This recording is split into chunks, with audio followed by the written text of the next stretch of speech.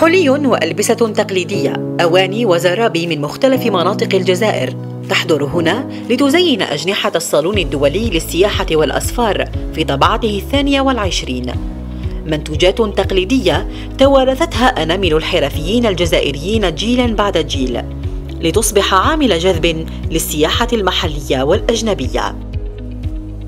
خدموا هذا الصنعة بيدينا بلا ماتريال كونا عند جدودنا بالنسبة لي أنا علمها لي أبويا وأبويا علمها لي جدي وماشية لحالها ضروري نحافظوا على هذا الزيدة نخلوه للأجيال القادمة واللي يعرف المنطقة ويخليها يعني لها جلب سياحي السائح يتبهر لهاد الناس كيفاش راهم محافظة على التراث نتاعها محافظة على التقاليد محافظة على الزي التقليدي نتاعها يعني.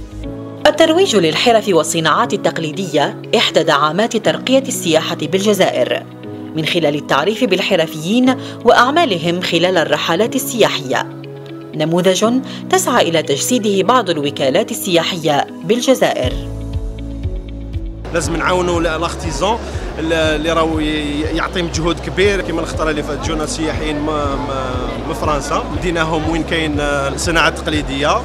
ديناهم كلاو مأكولات تقليديه ثاني dans des maisons d'hôtes aussi voilà ديناهم الايتياني شراو des bijoux tout ال tourisme يجوا بزاف عندنا يدومونديو بزاف ال corail. حاجة تقليدية. حاجة شغل مخدومه باليد حاجة خدمها un artisan باليد تسمين الموروث الثقافي الذي تزخر به ولايتنا ومن أجل التعريف به سواء للمتعاملين المحليين أو حتى المتعاملين من خارج الوطن.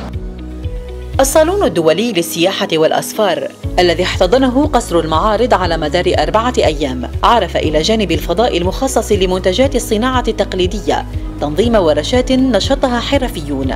سمحت للزوار باكتشاف الثراء الثقافي للجزائر القارة.